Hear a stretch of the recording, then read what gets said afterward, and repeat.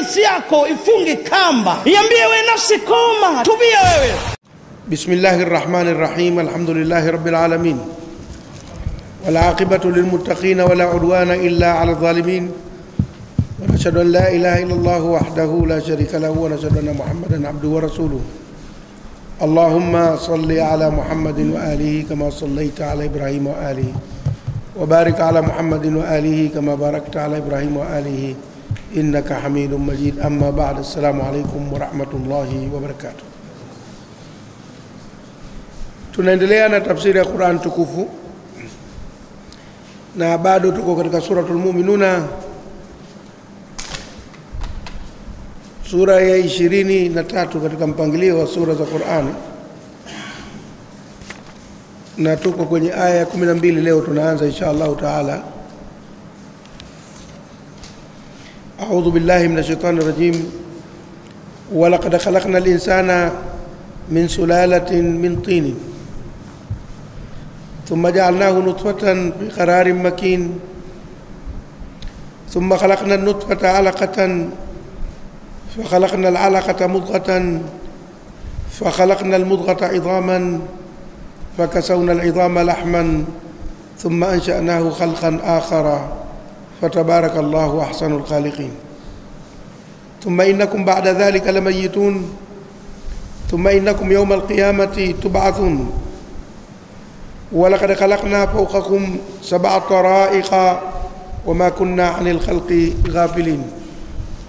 وأنزلنا من السماء ماء بقدر فأسكناه في الأرض وإنا على ذهاب به لقادرون.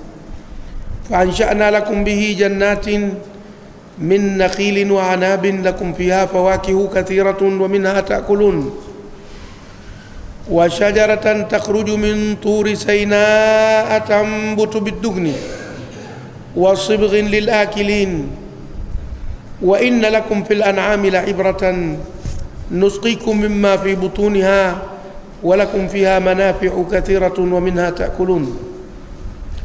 وعليها وعلى الفلك تحملون aya ishirini na mbili tunaweka lengo kwa sababu tukianza kushuka kwenye walaqad arsalna nuhan tutakuwa tumeingia kwenye anga jingine la tafsiri. Kwa hivyo kama hauta, muda utakuwa bado umebaki, tutatoa nafasi ya maswali. Leo tunakumbana na aya ambazo zinahitaji sana maelezo ya kisayansi, lakini kwa hadhara kama hii hakuna haja ya kwenda mno kwenye maelezo ya kisayansi. Inategemea unazungumza na nani. Kama ingekuwa tunazungumza na watu wa chuo kikuu au watu wa chuo cha afya au wasomi wa aina mbalimbali, tungeweza kuingia sana kwenye mambo hayo, lakini kwa madhumuni ya tafsiri hii tutazungumza kwa kiwango ambacho watu wanaweza wakatuelewa tu basi. Mwenyezi Mungu katika Qur'ani huzungumzia asili ya binadamu na, jinsi alivyomuumba na kumleta. Kwa madhumuni ya kumtaka binadamu mwenyewe atafakari jinsi alivyo na zile njia zilizomleta duniani, kwa sababu ukijijua ulivyo utajua thamani yako na utajua wajibu wako ni nini, lakini kama hujijui utapata tabu. Kuna maneno yananukuliwa kutoka kwa Luqman al-Hakim katika vitabu, inasemekana aliwahi kumwambia mwanawe akamwambia, ya bunayya la takun fi hadhihi dunya kashatin waqa'at fi zar'in akhdharin faakalat hatta saminat fakana hatfuha hina samniha, mwanangu, usiwe katika dunia hii kama mbuzi aliyojikuta kwenye mbuga ya majani. Usiwe kama mbuzi aliyejikuta kwenye mbuga ya majani, akala akala akala mpaka akanenepa, na ikawa chanzo cha kufa kwake ni ule unene wake. Kanenepa mpaka kafulia mbali kwa unene. Sasa usiwe duniani kama mbuzi aliyejikuta kwenye mbuga ya majani, hujui unatoka wapi, hujui hapa duniani toka ufanye nini, hujui unaelekea wapi. Sasa Qur'ani inatukumbusha asili ya binadamu katika njia mbalimbali mbali. asili ya mwanzo ya baba yetu Adam na Hawa mama yetu, na pia asili nyingine iliyotuleta sisi katika utaratibu huu mpya, zote kwenye Qurani zinazungu zinazungumzwa. Tuone aya hizi zinasemaje. Mwenyezi Mungu Subhanahu wa Ta'ala anasema katika aya ya 12 ya sura hii, suratul Muminun, walaqad khalaqnal insana min sulalatin min tinin,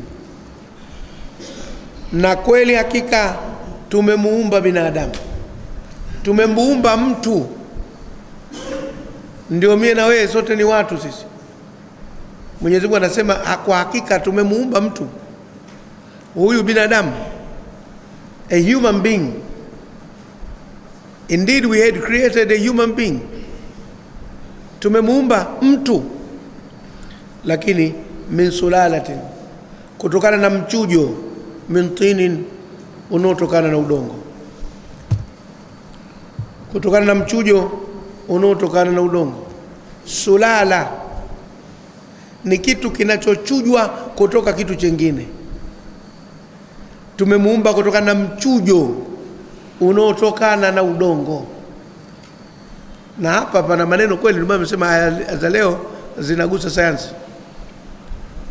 Kwa muda mrefu waumini wa dini ya Kiyahudi, ya Kikristo na Waislamu tumekuwa tukiamini kwamba binadamu kaumbwa kwa udongo,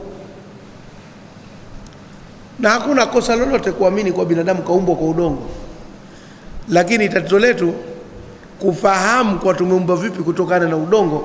Hapo ndo penye maneno, maana ziko hadithi za hapa na pale ambazo uthibitisho wake nao ni mbovu, zinazosema alifinyangwa Saadam kama sanamu la udongo, na wengine wanatia chumvi. Akaja Ibilisi akasema dude gani hili, akakamata jiti akalitoboa katikati kwenye tumbo hapa. Malaika wakaenda wakamwambia Mwenyezi Mungu, Ibilisi kamtoboa yule mtu uliomtengeneza. Akauliza wapi? Wakasema hapa chini kwenye tumbo. Akasema basi fanyeni kitovu, nendeni pale mkatengeneze kidogo, kitakuwa kitovu.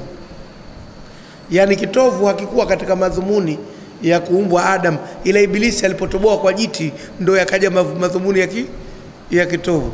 Zimekuja hadithi za kila za kila namna. Wengine wamekwenda mno katika maporojo, wakasema Ibilisi alipoona kimegeuzwa kidogo, akasema nitaona, akazunguka kwa nyuma, akatia tena jiti wakatoa taarifa sasa, basi tengenezeni duburi, itakuwa ni sehemu yake ya, ya kutoa uchafu. Hadithi tele pauko pakawa, hazina mashiko.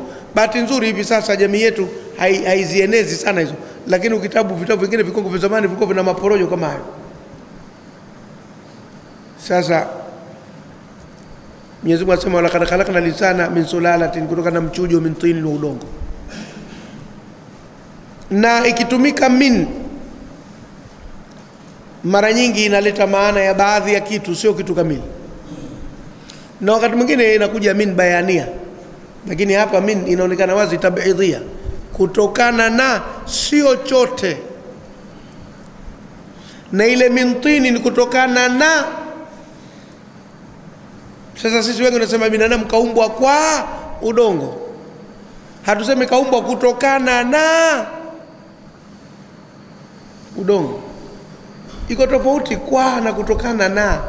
Anasema haya ni mambo zaidi ya kitaalamu eh. Eh, huo kisha kuamini kwamba binadamu kaumbwa kwa udongo basi ishatosha, hakuna tatizo kubwa, wala haimo katika arkanul imani sita, antumina billahi wa malaikati wa kutubihi, na kwamba Adam kaumbwa kwa udongo, haimo katika orodha ya nguzo za imani. Usipate tabu, ni katika ufafanuzi tu, kaumbwa kutokana na udongo au kaumbwa kwa udongo. Kwa tukisema kutokana na tukisema kwa, nini tofauti zake? Ikiwa ni kutokana, inawezekana kimetolewa kitu kwenye udongo kikatengenezewa mtu. Ikiwa kwa, ni ule udongo wenyewe. hmm. Kabati limeundwa kwa mbao au kutokana na mbao? Kwa mbao. Na ile fomeka, hii fomeka ile kwa juu imetengenezwa kwa mbao au kutokana na mbao? E, e, nataka nijue ile kwa na kutokana mnaipokea vipi je? kwa maanake ni kile kitu chenyewe kimekuja kutengenezewa kutokana kuna kitu kimetolewa kule kuletwa huku min sulalatin kutokana na mchujo min tinin unaotokana na udongo kwa hivyo viko vitu vimetoka kwenye udongo tena kwa kuchujwa. Akatengenezewa nani? Bina binadamu. Na ndio maana wataalamu wanasema madini yote yaliyoko ndani ya ardhi binadamu anayo sehemu ya madini hayo ndani ya mwili wake.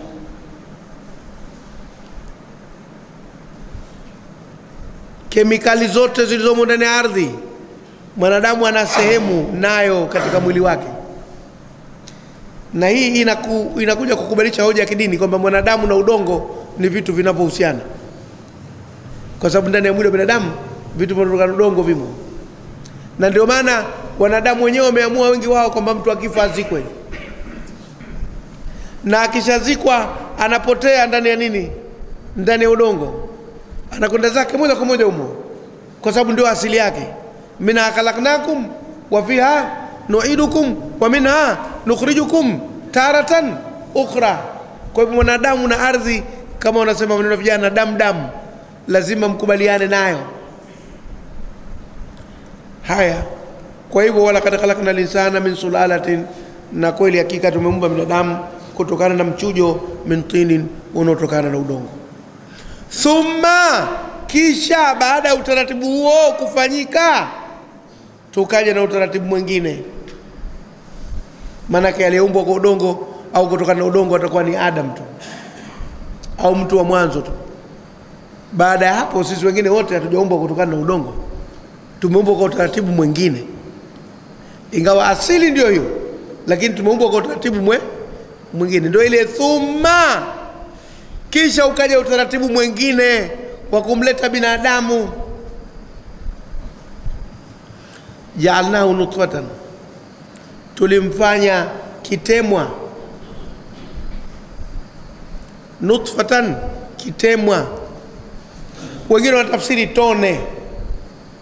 Mimi sipendi kutafsiri tone. Napenda kutafsiri kitemwa. Kwa kiarabu ukisema natafa kwa te sio kwa te natafa nut nutfa manake hivi. Natafa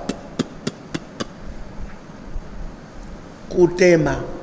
Sasa natafa inakuwa nzito zaidi. Pwa. Sio.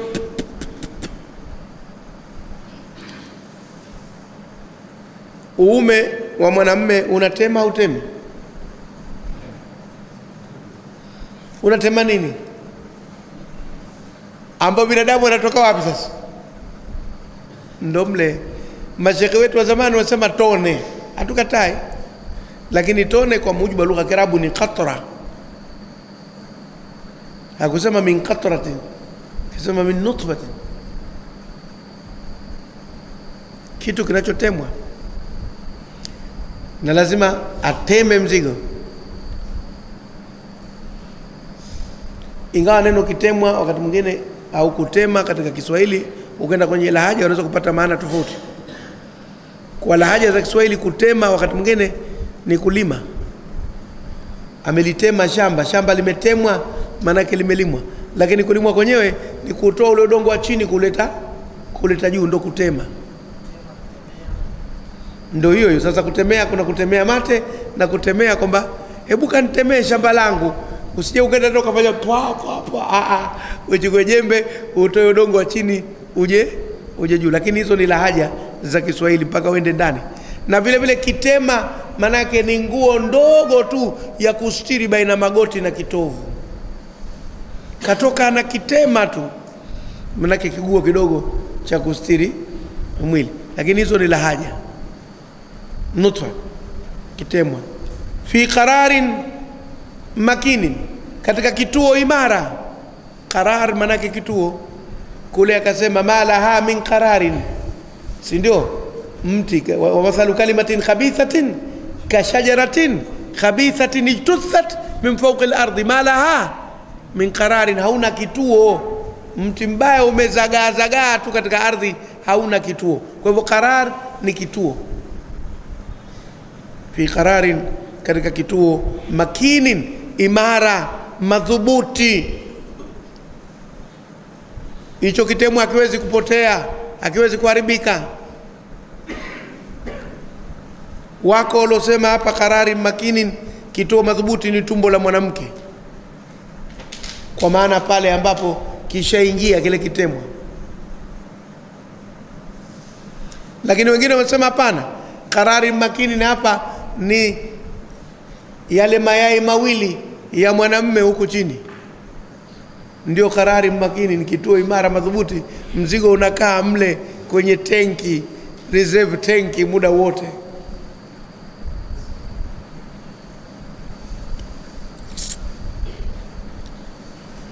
Thumma khalaqna nutfata, kisha tukakiumba kile kitemwa alaqatan, kining'inia.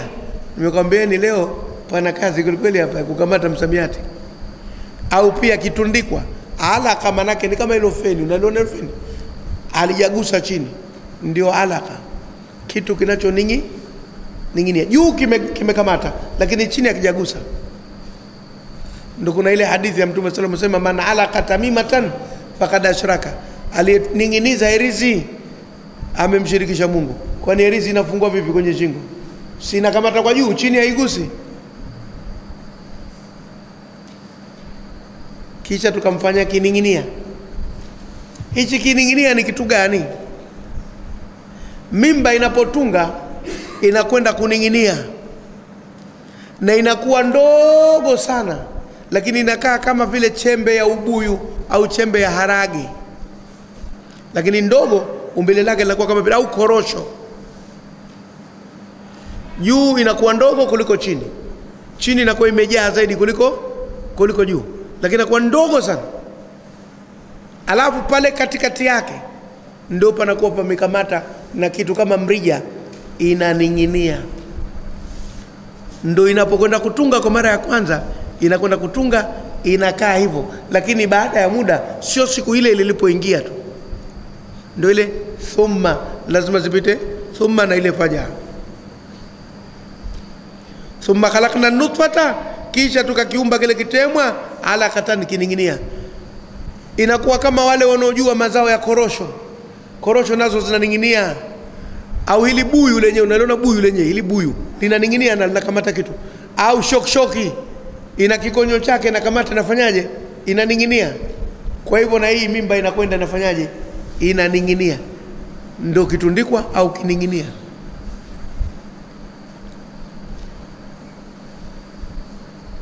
Fakhalakna alalaqata, basi tukakiumba kile kining'inia mudghatan shinyango.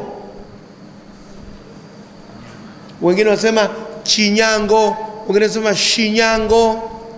Chi au shi sisi tunasema shinyango. Kama ile ya mshikaki shinyango kipande tu cha nyama. Kwa hivyo kisha tunakifanya kile kining'inia kinageuka kuwa shinyango ya nyama. Na mara nyingi shinyango kama imeshaliwa ndo kabisa unaona inatoa vinyuzi nyuzi. Hizi zinaitwa katika science embryonic stages hatua za kiini tete. Hatua za kiini tete au hatua za mimba. Embryonic stages katika biology ukisoma sana unakutana na kitu kinaitwa embryo embryonic stages. Ndio hatua za mimba au hatua za kiini tete katika Kiswahili sanifu.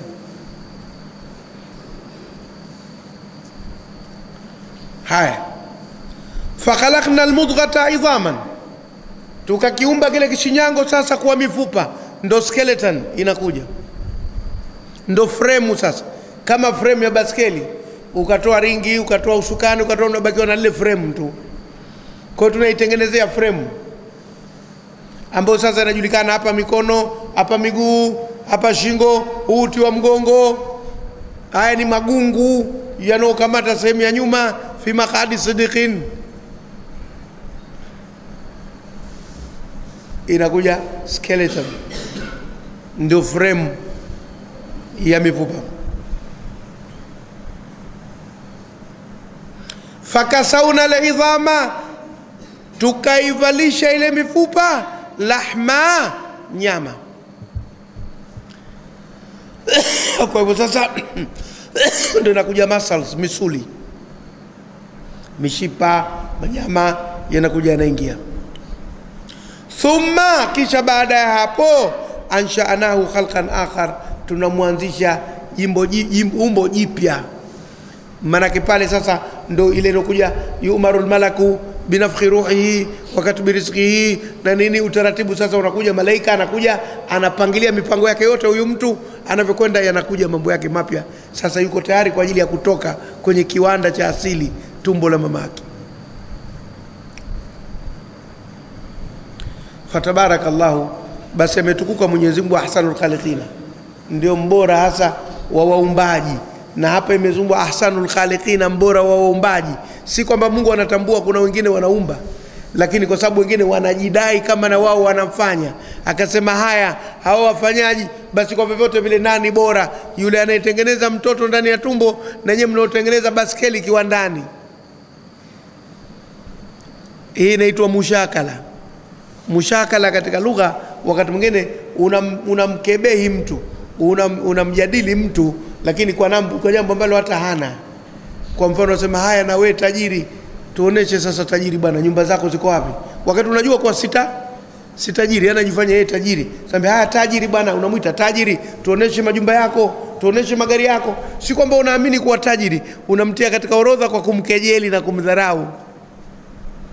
Kwa Mwenyezi Mungu naye anayo hiyo busara ya kuzungumza namna kama kama hiyo. Kama kuna wengine waumbaji, basi atakuwa kaumba vizuri zaidi. Hao wanaotengeneza viwanda wakatengeneza mashine wakafikiri wanaumba, basi wafanye hivi kama wanaweza. Tabarakallah, ametukuka Mwenyezi Mungu ahsanul khaliqina, mbora wa waumbaji. Thumma, kisha innakum ba'da dhalika, hakika nyinyi baada ya hili lote la kutengenezwa mpaka mkaja duniani, la mayituna, kweli mtakufa. Mfahamu hivyo, msifikiri kuna mwanzo tu na mwisho pia upo, na mmetoka kwenye mchakato mrefu mpaka mkazaliwa, na mtakwenda mkamalizike vile vile, mfe.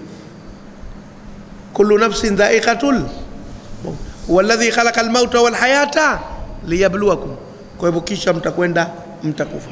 Kwa hivyo mwanadamu hasimami kwenye hatua zake tangu alikotoka huko anakwenda tu, lakini mwisho lazima afe, na alafu atakuja afufuliwe. Hizo ndo hatua zake, lazima apite huko. Ndo hapo anasema thumma, hakikisha innakum, hakika nyinyi, yauma alqiyamati, siku ya kiyama, tubathuna, mtafufuliwa.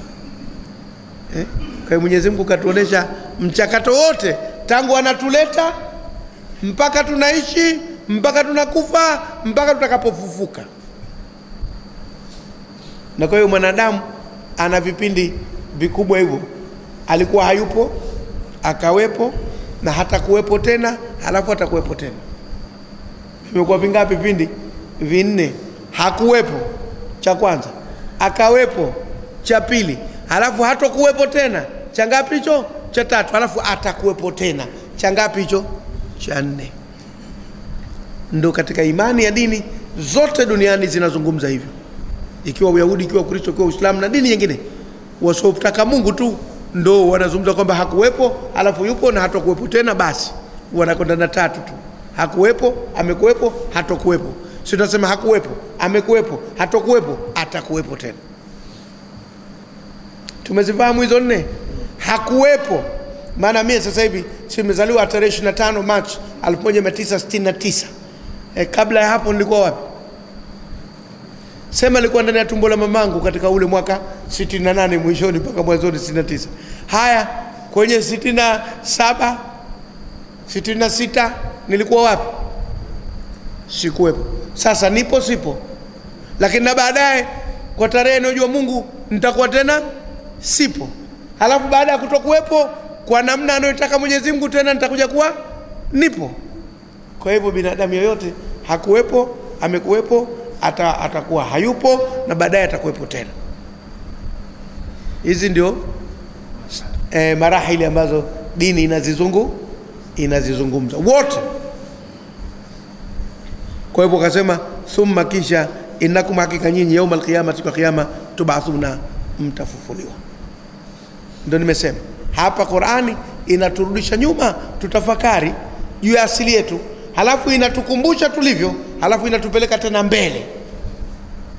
Na kwa hivyo busara ya dini ni kujua chanzo na kujua hatima. Ndio busara ya dini. Tujue tulikotoka na tujue tunako kwenda na kwamba hapa tunapita. Sasa ikiwa ukumbuki ulikotoka wala ukumbuki, hufikirii unakokwenda wewe una tatizo katika hii dunia. Wewe na mnyama sawa sawa. Pengine huenda mnyama tu ana mkia na pembe we huna lakini akili zenu zishakuwa sawa. Sawa ndo pale nilipokwambia ni Luqman alimwambia na la takun fi hadhihi dunya kashatin usiwe duniani hapa kama mbuzi. Wakaat kajikuta tu fi zarain akdharin katika mbuga ya kijani. Kwa sababu hajui anakotoka wala hajui anako kwenda akala akanenepa ikawa kifo chake kimetokana na unene wake. Kwa sababu gani? Kwa sababu hata huyo mchungaji akimwona mbuzi kakonda hafikirii kumchinja kama ingekuwa mbuzi na ng'ombe wanajua kuwa wakinenepa ndo fikra ya kuchinjwa inakuja wangefunga mwaka mzima wale. Wakaona kula daku tu. Ili wakonde mbavu zionekane vile seme akitaka kuja kumnunua mtu asema huyo simtaki kakonda. Na yule akitaka kuchinja sema nitapata hasara. Ingekuwa wanafahamu kuwa kunenepa kwao ndo kuwatia thamani wakachinjwe wasingekula wale. Wangekula kuokoa maisha tu. Lakini kwa sababu hawajui wanakotoka hawajui wanakokwenda wanafanya tu. Sasa na binadamu naye ambaye hajui anakotoka wala hajui anakokwenda anakuwa kama mnyama katika hii dunia. Na ndio maana Mwenyezi Mungu anatukumbusha tunatoka wapi halafu anatuambia tunakwenda wapi ili tutofautiane na wanyama. Ili tuweze kutafakari tujue nafasi yetu katika ulimwengu. Na Qur'ani imefanya kazi kubwa sana kuliko vitabu vingi vingi hata vile vinavyozungumzia dini pengine vyote havijafanya kazi kubwa ya kumkumbusha mwanadamu asili yake na kumwambia anakokwenda kuliko alivyofanya kazi ya hii Qur'an. Qur'an imefanya kazi kubwa sana, na hapa mnaona wazi wazi, thumma innakum, kisha hakika nyinyi eh, yauma alqiyamati, siku ya kiyama, tubathuna, mtafufuliwa, mrudi tena. Tena Mwenyezi Mungu anatupeleka kutafakari, walakad khalaqna fawqakum sab'a taraiqa, na kweli hakika tumeumba juu yenu njia saba. Kasema saba njia, saba njia, sab'a taraika, kaziita njia, na kasema faukakum, juu yenu. Wanazuoni zamani sana walisema mbingu ziko saba. Katikati wakatokea wasomi wa science wakasema waongo, hakuna mbingu saba, mbingu ni moja tu. Lakini wamekwenda. Sasa hivi, baadhi ya wataalamu wanakubali kwamba mbingu ziko saba, lakini maelezo yao ni ya kisasa zaidi, sio yale ya kiza ya kizamani. Wanasema kutoka hapa kwenye ardhi, tena kwa usawa wa bahari, sea level, kipimo ni usawa wa bahari. Pale ambapo bahari imejaa full mpaka ukingoni, kutoka hapo kwenda zake hivi, ukenda kwa kilomita kama elfu moja hivi kutoka chini kwenda juu, unaweza kukumbana na hali ya kwamba hakuna hewa tena ya kuvuta. Hii hewa hii tulionayo, unaona bure, yote tunaivuta sasa hivi, kila mtu anaivuta, anaitumia. Hii iko hapa chini kwenda juu kwa kilomita elfu moja tu. Baada ya hapo ngoma hii hakuna tena. Ndio maana ndege zinazosafiri lazima zichukue hewa, alafu mle ndani wanakumwagieni ile hewa, na wakenda juu sana, wakati mwingine wanakupeni vitu vya kuvaa kukusaidia ni hewa ya ziada. Mimi nakumbuka kuna wakati tulikwenda kutoka Jida, tumepanda ndege ilikwenda zaidi ya elfu kumi kutoka usawa wa bahari ilikuwa balaa tupo, maana tuliyapita yale mawingu yale, unaona mawingu ya moshi yale yanopita yote tuliyapita, tukaenda juu, ikawa kuchungulia hivi, unaona yani yako mbali mno, yanatekinyesha mvua. Kule, sisi haturoi kwa sababu mvua yenu iko hapa, tuna mawingu yenu ya moshi kwenda chini, huko juu hakuna mvua, juu kweli kweli, lakini presha za watu zilipanda, tukasaidiwa madubana yale hivi kwa sababu alikuwa anakimbia upepo mkali huku chini, anaukimbia katikati hapa, kutoka Misri kuja Somalia, pana upepo ulikuwa mkali sana, na sio tutakuja Nairobi. Akasema huu naukimbia, nikiruhusu kuendesha ndege huku chini, upepo ulivyo mkali, nitayumba sana, wacha nende juu, lakini mtapata tabu. Anatutangazia kwa Kiarabu na Kiingereza, mtapata tabu kidogo, tutawasaidia oxygen. Wakatusaidia. Hmm. Kuna mtu alikunya sa presha imepanda pakawa hapa kaliki.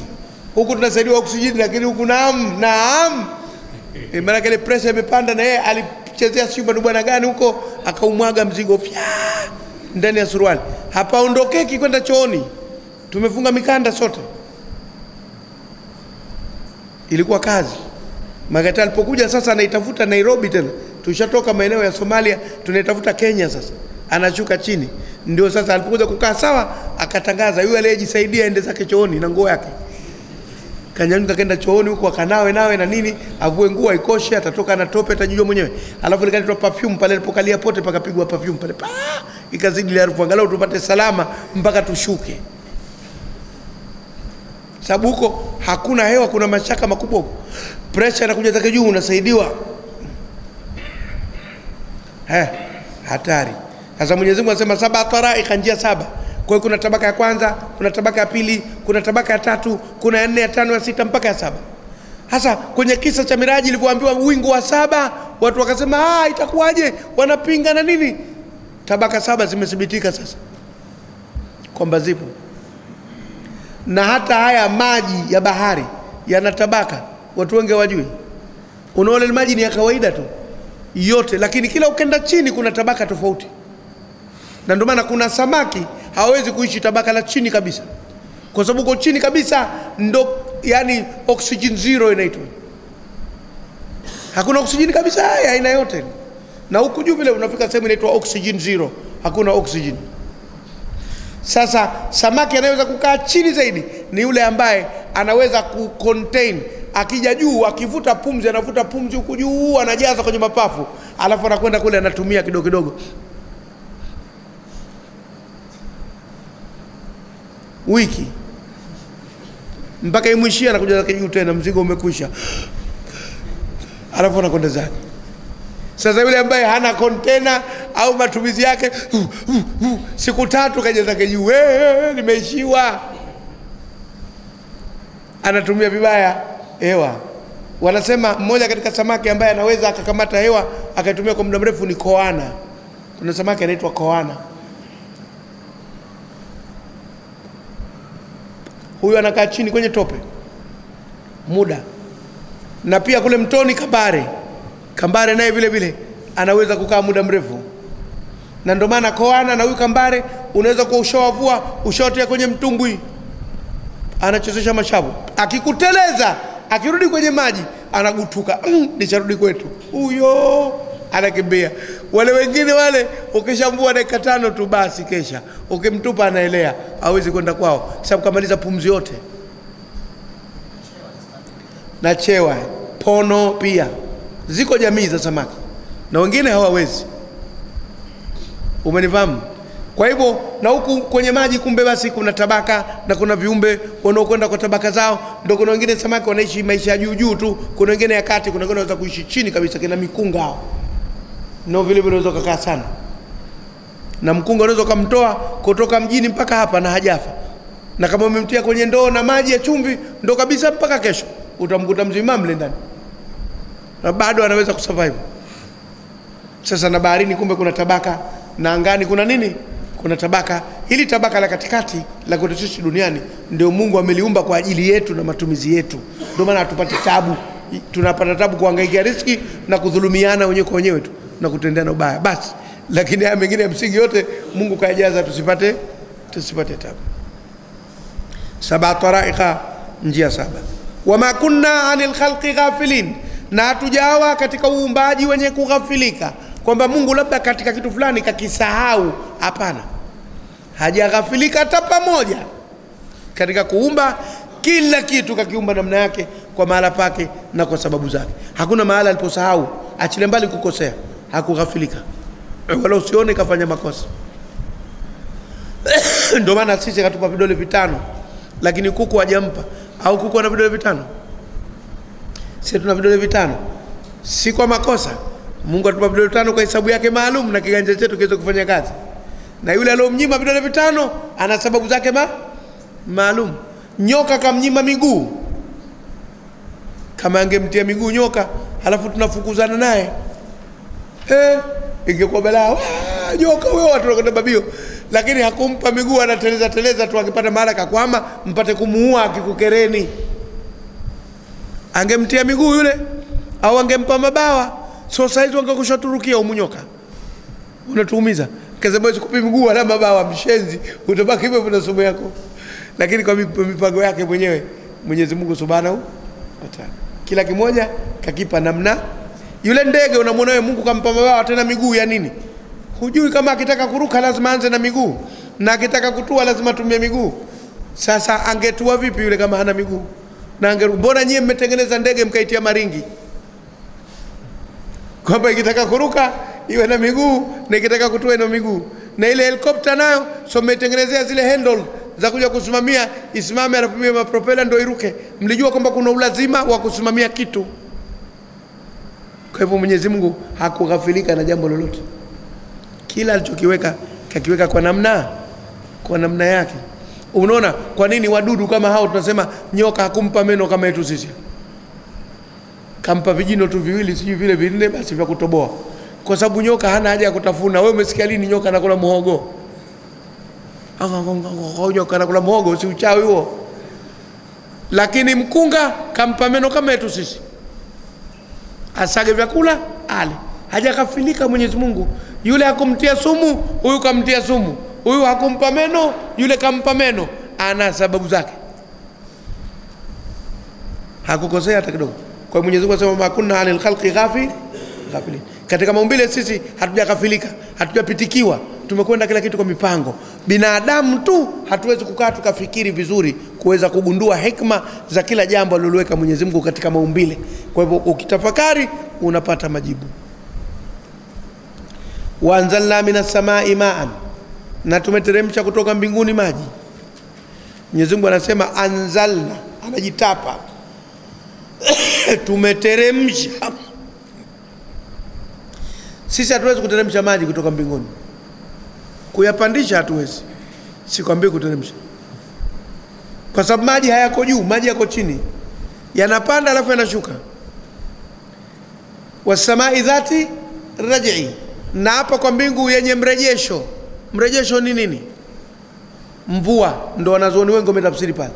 Sasa mrejesho maanake si kitu kimechukuliwa alafu kinarudishwa.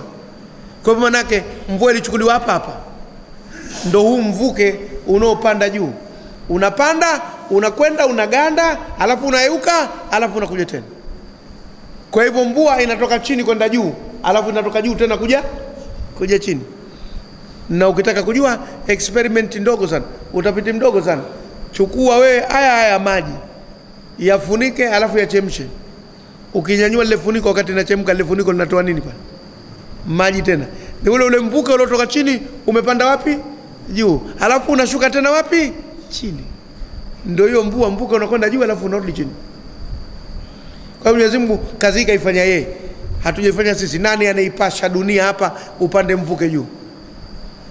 Si yeye mwenyewe Mwenyezi Mungu anapolileta jua likapiga likipiga tena ndo mvuke unapatikana unapanda juu, alafu koko tena yanaganda, anayeyusha mwenyewe kwa jua, yanashuka tena chini. Kazi zote anafanya mwenyewe hizo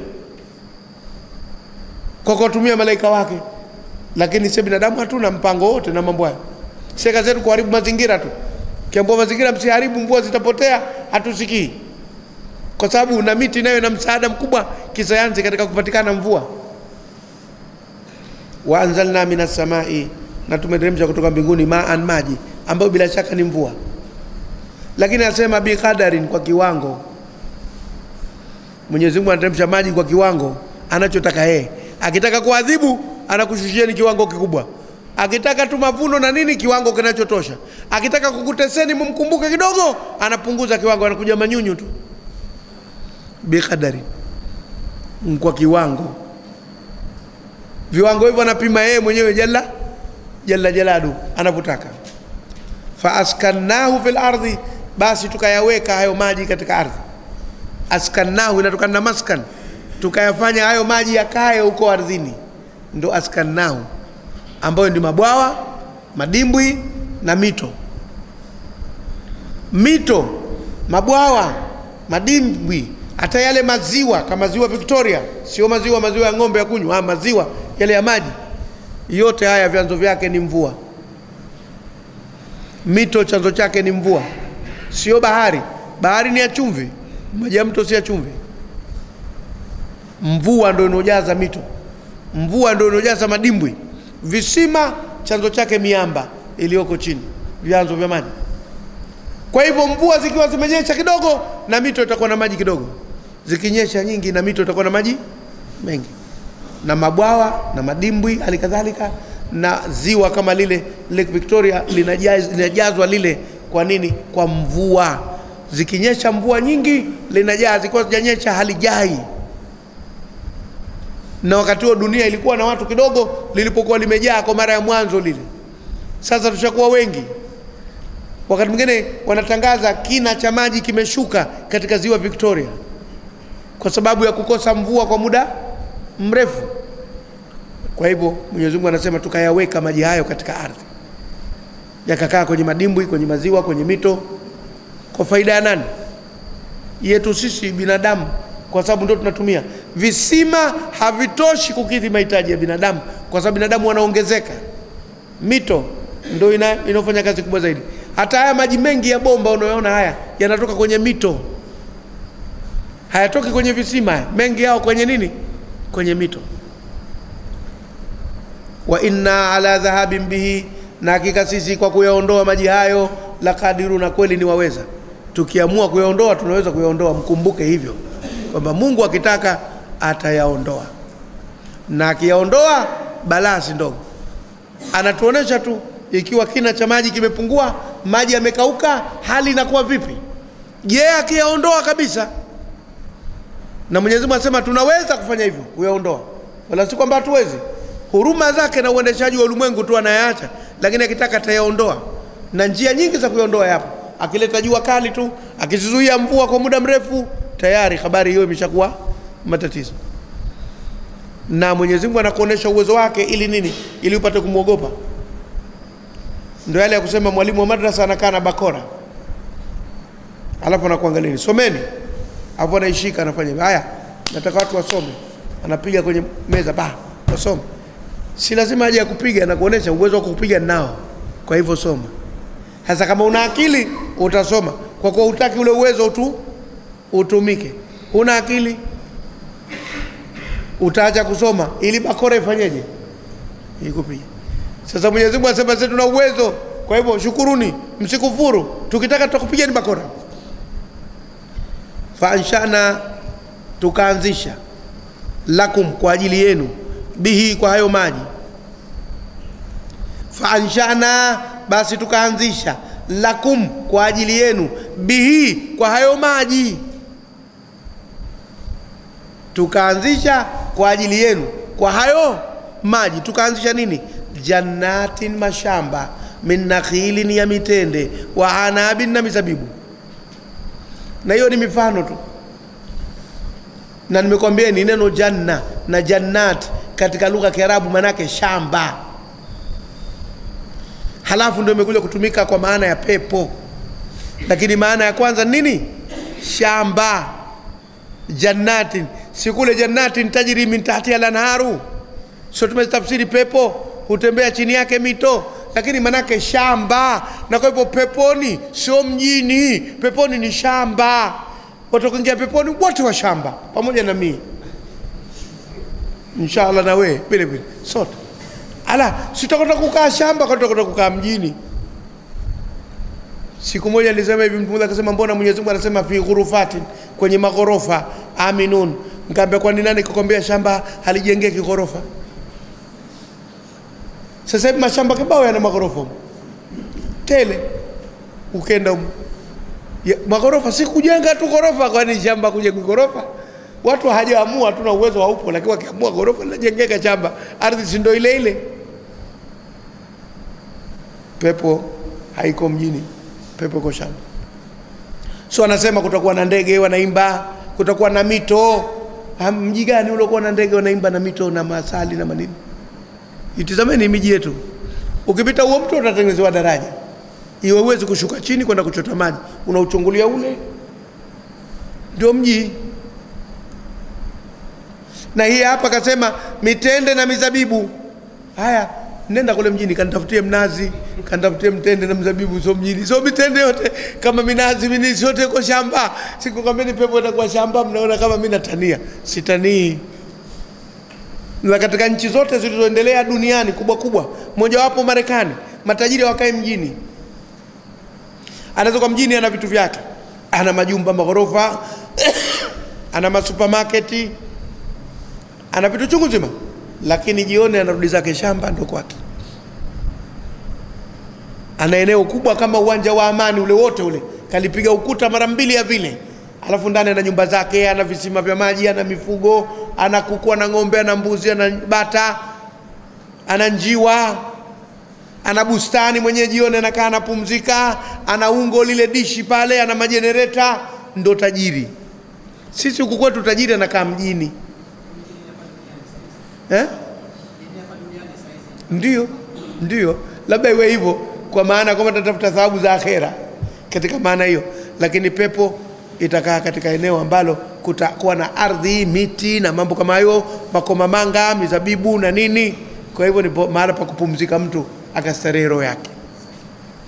Jannati ni mashamba, maana yake sehemu za miti, min nakhili na mitende, wa anabi na mizabibu na mitende inawakilisha miti mirefu yenye kigogo na mizizi, na mizabibu inawakilisha miti midogo inayotambaa. Kwa hivyo miti itakuwepo ile mirefu yenye vigogo na ile midogo yenye kutambaa, kwa sababu mzabibu unatambaa kama vile mpeshen, unatengenezewa chanja, alafu unafanyaje? Unata unatambaa, ndo mzabibu ulivyo. Lazima ukalie kwenye kitu chengine, unarukia. Lakini mnazi au mtende unakwenda zake juu moja kwa moja kwa moja. Kwa hiyo kutakuwa na miti yenye vigogo mirefu na miti ya kutambaa, yote itakuwepo, na yote binadamu anaihitaji kwa sababu kila moja ina faida kwa upande kwa upande wake. Lakini mara nyingi miti mirefu inazaa matunda ambayo yana ugumu kidogo, lakini miti ya kutambaa haizai matunda yenye ugumu. Huwezi kuambiwa eh, kuna pesha linataka kuvunjwa kwa chuma, lakini nazi inavunjwa kwa nini? Kwa chuma. Na chikichi ndio ngumu kuliko nazi. Ajabu ya Mungu, chikichi ni ndogo, lakini ndi ngumu kuliko nazi. Kuivunja chikichi, rafiki yangu, ukipiga na chini haibanjiki, ukipiga chuma mpaka upate nyundo, unaweka da, unavunja chikichi. Kidogo, lakini kigumu kiama, na miti yake kama minazi na kwenda juu. Ndo kule Kigoma nilikokaa mimi miaka miwili kule, watu wa Kigoma sema huyu ana kichwa kigumu kama chikichi, manake hafahamu kule zinaitwa mawese, na wao ana kichwa ngumu kama mawese, maanake hafahamu au mkaidi, mkorofi, kwa sababu chikichi ngumu. Kwa hivyo miti mirefu na miti ya kutambaa itakuwemo na bila shaka hiyo itakuwa ni shamba na sio mjini. Lakum fiha fawakihu kathira, mtakuwa nayo ndani ya hizo pepo matunda mengi. Fawakihu kathira, matunda mengi. Na fakiha kama wanavyosema Waarabu, wataalamu wa lugha ya Kiarabu, ni tunda linaloliwa bila kupikwa, ndio fakiha. Kwa hivyo litakuwa papai, aghalabu halipikwi, ndizi, embe, fenesi, doriani, umenifahamu, apple, parachichi, tunaita pea. Au hayo mapeasi, ni matunda ya kuliwa bila ya kupikwa. Kwa hivyo fawakihu kathira, matunda mengi, na hii inaonyesha kuwa matunda ni muhimu kwa binadamu. Mwenyezi Mungu mpaka kuyafanya zawadi peponi, basi ni kitu kimoja muhimu sana. Lakini kuna watu hapa duniani hawali matunda mpaka waambiwe na daktari, kwa ubakhili wao, mpaka andikiwe na daktari, kula machungwa kwa wingi. Tusema daktari kanaambia nile machungwa. Ah, siku zote machungwa yapo yake, huli mpaka uambiwe na daktari. Hii balaa yake. Mwingine hali ndizi, hali papai, mpaka ambiwa na daktari. Kumbe matunda ni kitu muhimu katika maisha yetu, usisubiri kuambiwa na daktari, ndugu yangu. Tena wanasema wataalamu, yale yanayoingia kwenye msimu usiyaache. Ukija msimu wa machenza, piga machenza. Ukija msimu wa maembe dodo, piga dodo. Ukija boribo, piga boribo. Ikija nyonyo, piga embe nyonyo. Ikija embe ng'ong'o au embe sakua, piga embe sakua. Umenifahamu? Kinachoingia katika matunda, we onja kidogo, kula. Zikija shokishoki, piga shok shokishoki, pata kidogo, kwa sababu yana faida katika mwili, na ndio maana Mwenyezi Mungu kayapanga aje katika msimu ule. Yakija madoriani, piga madoriani. Kuna mengine yanapatikana mwaka mzima, lakini kuna kipindi yanakuwa mengi na kuna kipindi yanakuwa kidogo. Kuna mengine hayawezi kupatikana mwaka mzima, yana kipindi chake tu. Kwa fawakihu kathira, na matunda mengi. Wa minha, na kutokana na hayo taakuluna, mnakula nye, kutokana na hiyo mitende, kutokana na hiyo mizabibu, kutokana na hiyo matunda, nyinyi mnakula, inapatikana lishe. Na mwanadamu anaweza akaishi kwa matunda tu lakini hawi na nguvu. Ili kwa mfano ikawa anakula tende tu, anakula zabibu tu, anakula mapera tu, anakula mapapai tu, ndizi tu, maisha yake yote ataishi, lakini atakuwa kama kima, kama ngedere, kwa sababu ngedere ndo kula yake hiyo nyani eh? Anakula hayo tu, ingawa nyani anakula mpaka mahindi na mihogo. Yule nyani anakwenda anakwenda zaidi, na ukikishtukia kinyesi chake mahala, unaweza kusema cha binadamu, anakunya kama sisi yule namna moja unaweza kusema eh, kapita balahau gani hapa kuacha mzigo, kumbe nyani eh, kaacha mzigo. Lakini unaweza kuishi kwa kula matunda tu, lakini utakuwa umepungukiwa na protini sana. Nyama, hujanywa maziwa, hujala mayai, hujala samaki, hujala kuku, unakuwa dhaifu, una nguvu, lakini unaweza kuishi kwa matunda tu. Wa shajaratan, na pia Mwenyezi Mungu anautaja mti vile vile, ameuanzisha Mwenyezi Mungu.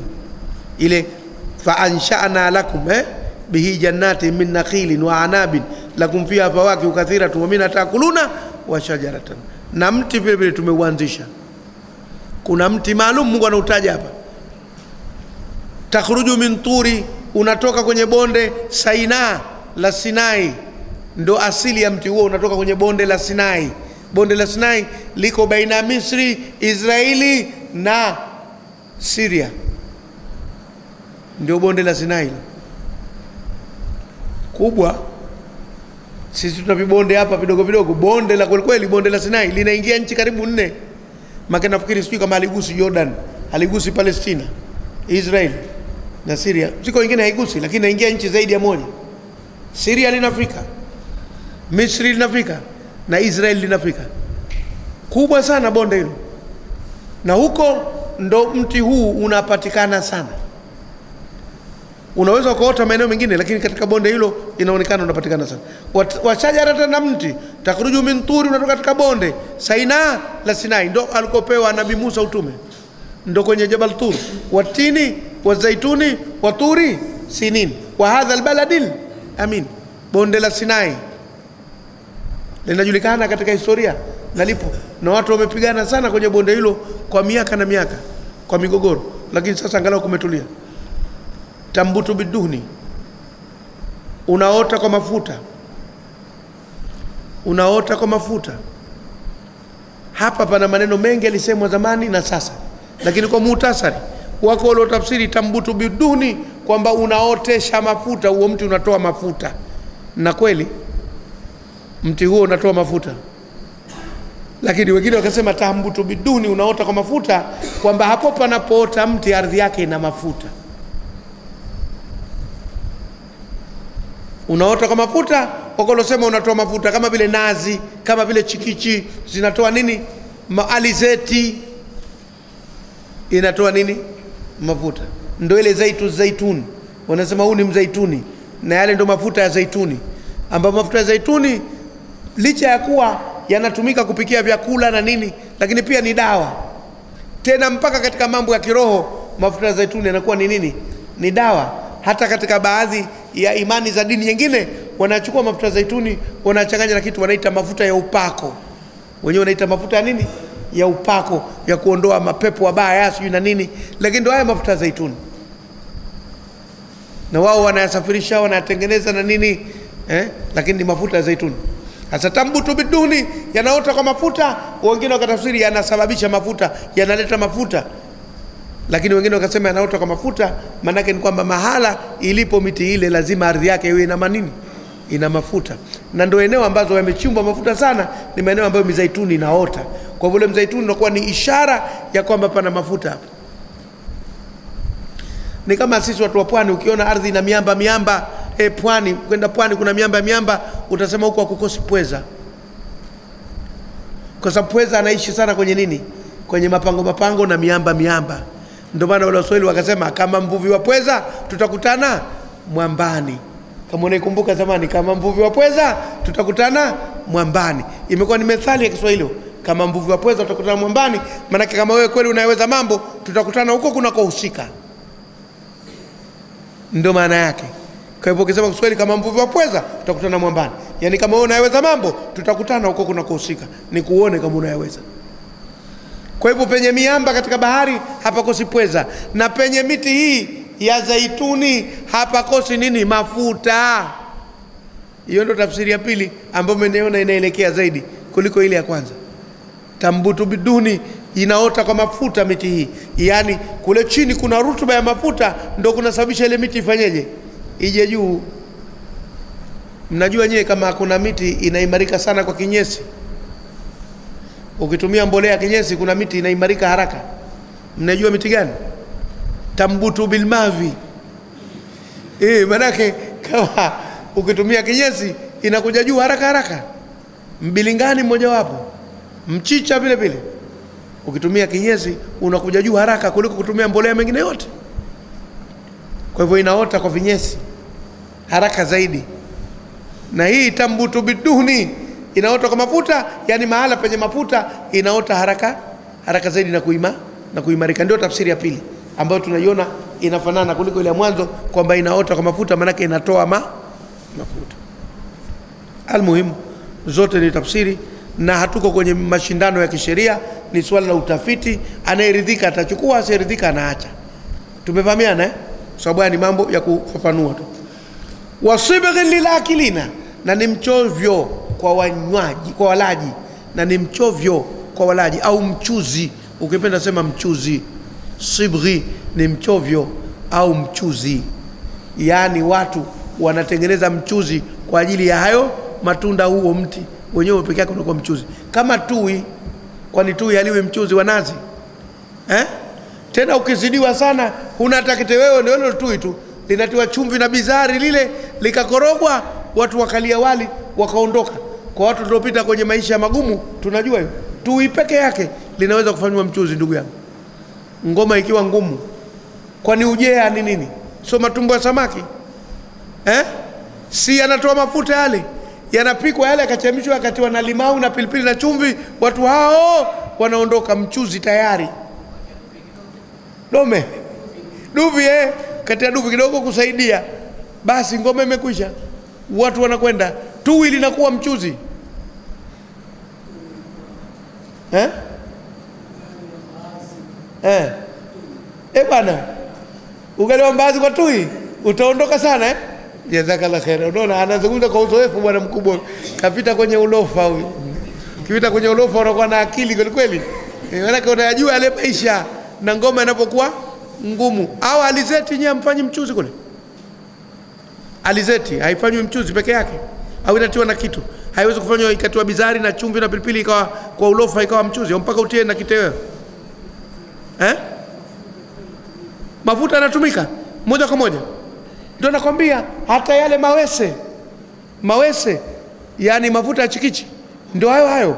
Wana wanayachemsha, yakianza kupata moto wanarushia maji, yanatoa moshi sana, inatoka ile carbon, alafu ikimalizika wanatia tu pilipili, wanatia kidogo na bizari na chumvi, wanakoroga, wanalia ugali, wanalia wali, ndio hiyo hiyo ngoma wakizidiwa. Sibghi ni mchuzi, lilakilina kwa nani? Kwa walaji. Ngoma ikikaa vibaya sasa kama una ng'onda, una nyama kavu, una uduvi, una dagaa, tena unarumagia, unamimina kidogo hivi, ngoma imetoka. Maskini keshalala wewe, kapata kula kapona. Kwa Mwenyezi Mungu anasema wasibghin na mchuzi. Hapa tuna utafsiri nini mchuzi, lakini asili yake ni mchovyo au ndio ile sibghatallahi, wa man ahsanu min Allahi sibghatan, eh, ule ni upako au mchovyo. Hatutumii neno zaidi upako kwa sababu linatumiwa katika dini nye, nyingine. Wasibghin basi na mchuzi lilakilina kwa walaji. Tui lake linafanywa mchuzi kwa watu ambao wanakula. Ni wala nye mnafanya mchuzi wale korosho ile nini chokochoko ya korosho. Inakuwa ni nini hiyo? Mnazisaga korosho au mabibu au ni mafuta yale? Tu ile unaona yale yale. Halafu mnatia na chochote wakati mwingine kama hali ni mbaya ndio ile na chumvi na bizari. Unaona? Haya na watu wa korosho wana uzoefu huo huo nao. Tuhindo lile lile sibghin kwa hivyo ndo hapa basi mzee mnalihitaji kwa kinyumbani lile. Niko nini? Chokochoko. Sasa wasibghin lile akilini na chokochoko kwa walaji eh? Achimene ngule kumeja nchale ukitema nchale. Ukimung'unya pia nchale. Eh. unaona bwana kila mahala pana uzoefu wa namna hii. Qurani inazungumzia dunia na maisha ya watu. Dunia na maisha maisha ya watu. Basi wasibghin lilakilina na mchovyo wa mchuzi kwa walaji. Hakusema kwa wanywaji kasema kwa walaji maanake kuna chakula ambacho wanatumia kuchovyea. Kama ni ugali kama ni muhogo kama ni nini ndio wasibghin lilakilina na mena huyu balaau, tunajua kwamba mwogo wa nazi hata kama hujapata kitoweo ukishapata na chai unaondoka tu. Tayari mchuzi wake ndo momo ndani ya nazi. Ngoma inakunyanyua. Bakhili kama yakuna kishuka mmoja. Haya. Wa inna lakum fil an'ami la ibra. Na hakika mnayo nyinyi katika wanyama fugwa. Mazingatio. Wa inna lakum. Hakika mnayo nyinyi fil an'ami katika wanyama fugwa la ibra mazingatio. Mnayo mazingatio katika wanyama fugwa anaam kwa tafsiri ya wanazuoni walio wengi ni wale wanyama wanaofugika. Kwa hivyo anakuwa ni ngamia ng'ombe mbuzi na kondoo. Nyati hayumo. Ingawa siku hizi watu wanafuga nyati lakini kumfuga nyati kazi yake ngumu kama kufuga chatu. Mara akikasirika na kupiga pembe la tumbo hawaaminiki. Kwa hivyo hapa wanyama fugwa ndo anaama. tumefahamiana? Wa inna lakum fil an'ami na hakika nyie mnao katika wanyama fugwa la ibrata mnayo mazingatio. Kama mtakamu kule kufuga kunakupa mazingatio. Kwa hivyo katika kufuga wanyama yamo mazinga mazingatio. Kwa sababu Mungu pale kakupa mamlaka juu ya kiumbe mwingine. Unamwendesha wewe unamlisha wewe unamnyusha wewe unamlaza kwa time unazotaka wewe unamtoa kwa taimu unazotaka. Wewe kwa hivyo umemmiliki kikamilifu yule. sasa lazima uzingatie pale. Anasema nusqikum tunakunywesheni mimma kutokana na kile ambacho fi butuni ha kimo ndani ya matumbo yao. Mnakunywa nyie. Nini hiyo? Maziwa. Na hapa ndo tunapishana na wale wayahudi wenye msimamo mkali. Wayahudi wenye msimamo mkali hawanywi maziwa. Wala bidhaa yoyote inayotengenezwa kwa maziwa. Mtindi chokleti hizi chokleti zinatiwa maziwa. Si unaona dairy milk, chokleti inachanganywa maziwa. Hawali. Chochote kinachotiwa maziwa wao hawali. Na hoja yao wanasema maziwa yale mungu kayaumba kwa ajili ya yule mtoto ndama sio kwa ajili yetu sie. Sie tuliumbiwa yetu kwenye machuchu wa mama zetu tushayamaliza. Sijui umefahamu hoja yao? Hoja yao ni kwamba maziwa yale unanyonya ya mama yako wewe katika kipindi cha miaka miwili manake wewe umeumbiwa yale kujengewa mwili wako. Baada ya miaka miwili usinywe tena maziwa kwa sababu yahitaji tena kwenye mwili wako na hawa wanyama wameambiwa maziwa kiwandama wanyonye wanahitaji wao kwenye mili yao. Wakishakuwa kubwa basi wewe unakwenda kunywa maziwa ya nini? Hawataki. Umefahamu hoja yao? Kinyume cha baniani. Baniani yeye ndo maziwa anakunywa masaa ishirini na nne. Mpaka anayatia kwenye mchuzi mpaka anayatia pilipili mpaka anayatia chumvi. Hayo hayo maziwa lakini yeye nyama hali. Hali ng'ombe hali mbuzi hali kuku hali samaki hali chochote katika nyama. Lakini maziwa anakunywa. Na huyu myahudi mwenye msomo mkali naye anakula nyama zote lakini maziwa hanywa hmm. hii dunia ukizunguka utakuta kuna vituko humu, huyu anafanya hili, huyu hili hafanyi, kinyume nyume mambo. Lakini Waislamu, Qurani natuambia nusqikum, tunakunywesheni mimma, kutokana na kile ambacho fi butunia, kimo ndani ya matumbo yao, ambao ni maziwa. Walakum fiha manafiu kathiratun na mnayo nyinyi katika hawa wanyama fugwa manufaa mengi, na kule imesema anaam ni ngamia, ng'ombe, mbuzi na kondoo. Kwa hivyo na maziwa yao wote hao sawa sawa.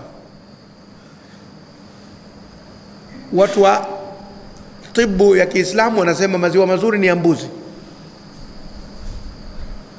lakini wengine wanasema mazuri ni ya, ngamia, ndo best. Mimi nishakunywa maziwa ya wote isipokuwa kondoo tu. Ya ngamia nimepiga, ya ng'ombe ndo si- usiniulize, maanake mimi na wewe tuko sawa sawa, na ya mbuzi nishapiga, ya kondoo bado. Uwe mrangi ya kondoo mshapiga kule, bado. Sana, mazito kuliko ya mbuzi, au sawa sawa na ya mbuzi, kama ya mbuzi eh? Mm, kondoo sijapiga. Ya, ya ngamia ukishachemsha ukaacha yapoe, yanaganda, yanakuwa kama pudingi, kama hajachanganywa na maji, yanakuwa kama uji mzito, unakula kwa kijiko maziwa ngamia mazito ukiwa hajachanganywa na maji. Nilipiga maziwa ya ngamia kwa tende ya daraja la kwanza, inaitwa burni, kwa kokwa yake ndogo mle ndani. Imekaa kama ule ule nani moyo wa kungu, ile kokwa ya kungu. Mwembamba, kwa ukipasua tu hivi unaitoa kama kijiti, sio kokwa nene, alafu ukipeleka inashuka tu. Huku tende huku maziwa, huku tende huku maziwa. Hey, niligeuka kama kioo hii ngozi yangu. Nang'ara, utafikiri mepaka, nimepaka mafuta nafung'ara. Si mchezo, lakini na mambo mengine yakaongezeka, yale ya kijitu kizima we maziwa ya ngamia si mchezo. Haya, walakum fiha manafiu kathira, na mnayo ndani ya wanyama hao fugwa manufaa mengi. Ng'ombe anakusaidia ni kulima anabeba mizigo. Ngamia anakusaidia ni kubeba mizigo, na ngamia ana zaidi ya hayo, akizoea anatumwa mpaka dukani. Nimemwona kwa jicho langu, sikokuhadisiwa. Ngamia anatua kikapu kwenye shingo, alafu mnatua pesa ndani ya kikapu, alafu kinaandikwa kikaratasi, tunataka nini na nini, vitunguu si nini, anakwenda mpaka dukani, anapeleka shingo hivi. Mwenye duka anatoa kikapu, anasoma kikaratasi, anatia bidhaa, anarudisha chenji, yeye anasubiri. Anamvalisha, akishavaa tu ananyanyuka, anarudi mpaka alikotumwa, anaipeleka shingo, mzigo wako huwa. E, ngamia ana manufaa mengi zaidi, anafundishika zaidi, analelewa. Ngamia akiona watu wageni katika eneo la kijiji, na we mfano umemwacha mbali, umekwenda kulima, anakuja huko huko kupigia kelele, "Ah, kuna watu wamekuja huku, ah, anakufanyia zogo. Inabidi wewe kama mbwa vile urudi useme jamani, samani wageni, wageni wangu nilikuwa nalima huko. Nani kaja kukwambia? Si ngamia? Ala, ngamia kaja kusema kuna wageni? Ndio, kaja kusema kuna wageni. Manafiu kathira. Ng'ombe naye hatutaki kuzungumza manufaa yake, sote tunamjua sisi, maana ng'ombe ana manufaa, mpaka mavi ya ng'ombe yana manufaa. Unajua kama mavi ya ng'ombe yanatumika kuachia moto eh? na wakati mwingine ni dawa ya ukurutu, wanasuguliwa mtu mwenye vidonda si mwenye nini, mpaka hata ngamia mavi yake dawa. Mkojo wa ngamia ndio dawa kabisa ya utapia mlo, unachemshwa ule na gilgilani, alafu mtu anapewa kunywa mpaka anapona. Ule mkojo wa ngamia dawa, na hasa likiwa dume ndio kabisa najisi, lakini wakati wa kuumwa, rafiki yangu, hamna cha najisi eh? Utapona tu. Kwa hiyo ngamia, ng'ombe, mbuzi naye ana manufaa yake chungu zima. Ngozi, mifupa. Zamani mifupa ilikuwa ina faida, siku hizi haina faida sana. Mifupa inatengenezwa marungu, kama ule mfupa wa ng'ombe wa goti huu unatengenezwa rungu la mlinzi, unakuja kuiba na kupiga nalo moja tu, manafiu, ulinzi. Mifupa, mbavu walikuwa wanatengeneza upinde, hizi mbavu wanatengeneza upinde. Wengine walikuwa wanawezekea vibanda. Sasa mbavu za ngamia wanawezekea vibanda vyao, inakuwa kama zile chanja za kuwezekea ilikuwa zamani kila kitu kinatumika. Ngozi mpaka leo ndio hiyo. Viatu mikoba nini lakini kubwa zaidi na sisi wazanzibari tumeiga bara siku hizi kuna supu ya magozi. Bado ngozi inaliwa. Manavyo. Na mie mmoja katika wateja. Napiga supu ya ngozi. Haya tena unataka nini? Makongoro utumbo hata nyongo ya mbuzi au ya ng'ombe inatumika kama dawa pia kuchanganyia mambo. Ukenda kwenye manufaa kutakuwa na vitu vingi. Basi manafiu kathira manufaa mengi sana. Wa minha taakulun na kutokana na wanyama hao mnakula. Tena mabedui ndio chakula chao kikubwa nyama. Hata wao wa jamii za wamasai wabaigi nani wanakula nyama zaidi. Wale wasandawi au wasandawi wanakula ndege wao. Huwajui wasandawi hawako kwenu wanatokea singida wale wanakula vitu vya porini zaidi. Wafugaji wao. Si wanakula zaidi nyama na maziwa kuliko hata huo. Unaweza kwenda ukakuta nyama nyingi kuliko ugali. Wanakula nyama nyingi zaidi. Na mabedui wanakula nyama nyingi zaidi. Wala sio kama mwalika bedui alafu kitoweo kikawa kidogo. Aa, nyama iwe nyingi kuliko chakula kingine. Sisi watu wa mjini ndio tunakula manafaka mengi vitoweo kidogo. Lakini wao wanakula vitoweo vingi. Wamina hata kulun. Na katika hivyo mnafanyaje mnakula. Na aya mwisho kwa leo wa alaiha na juu yake hao wanyama. Wa ala alfulki, na juu ya vyombo mbalimbali tuhmaluna mnabebwa. Kaingiza vyombo pale lakini wanyama nao nakubebeni nyie na kukubeeni mizigo. Watahmilu athqalakum ila baladin lam takunu balighihi illa bishiqi lamfusi wanakubebeeni mizigo kwenda katika miji ambayo msingeweza kuifika nyie kama mngekwenda kwa miguu labda kwa kuzisumbua sana nafsi zenu. Lakini wao wanabeba mizigo. Na nyie mnabebwa juu ya hawa wanyama. Basi wa alaiha na juu yake wanyama hao. Wa ala alfulki, na juu ya vyombo mbalimbali. Na wengine wakasema hapa fulki mabehewa. Juu yao na juu ya mabehewa. Kama lile gari la punda analofungwa nalo gari la ng'ombe lile ndo fulki wengine wakasema kwa hivyo juu yao na juu ya yale mabehewa yanayofungwa kwa wanyama tuhmaluna mnabebwa nyinyi na mizigo yenu bado mnafaidika. Basi kwa leo tufike hapa insha allahu taala. Wassalamu alaikum warahmatullahi wabarakatuh